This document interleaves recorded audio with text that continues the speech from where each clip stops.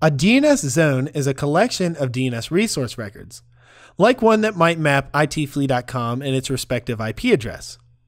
Now, there are two main types of DNS zones forward and reverse lookup zones. Forward lookup zones are the most common and translate host names to IP addresses.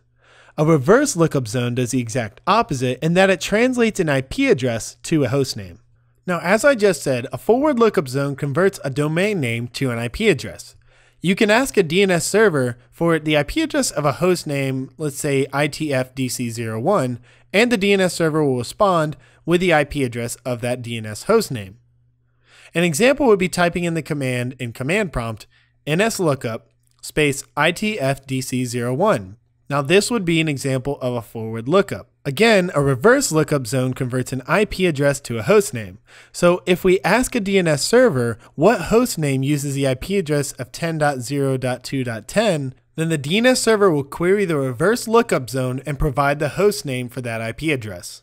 Now both forward and reverse lookup zones can contain primary, secondary, and stub zones. A primary zone is a DNS zone that this DNS server is the primary source of information. Now, by default, the data for this zone is located in a file under the Windows directory slash system32 slash DNS. This file may also be stored in Active Directory if this DNS server is also a writable domain controller. Now, there's several benefits and reasons why you'd want to store a primary zone in Active Directory. Since the zone is stored in AD, the zone can be replicated using Active Directory's replication process and Active Directory's security features. It's also worth mentioning that a primary zone is the only zone type that can be directly edited or updated. Now, a secondary zone is a read only replica of a primary DNS zone that is hosted on another remote DNS server. This obviously means that your DNS server must have network access to the remote DNS server in order to gather the information. The DNS zone is not stored in Active Directory because it is a mere read only copy of a DNS zone. If you try to make a change to a secondary DNS zone, the change request will be passed on to the server which holds the primary DNS zone.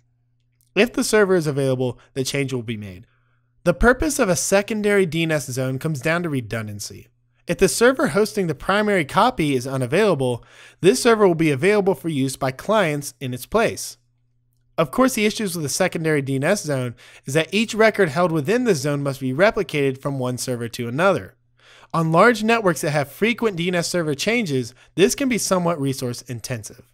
Now, a stub zone is similar to a secondary zone in that it is a read only zone that obtains its information from another remote DNS server. The main difference between a stub zone and a secondary zone is that while a secondary zone contains an exact replica, including all resource records of a primary zone, a stub zone only contains information about authoritative name servers.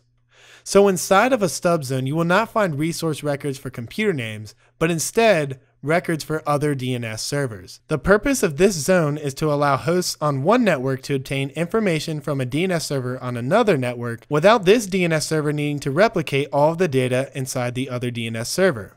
You can think of a stub zone as being a less resource intensive version of a secondary zone. All right, so now you understand forward and reverse lookup zones. You understand primary, secondary, and stub zones. That's all we need to cover for this lecture. Great job, and I will see you in the next one.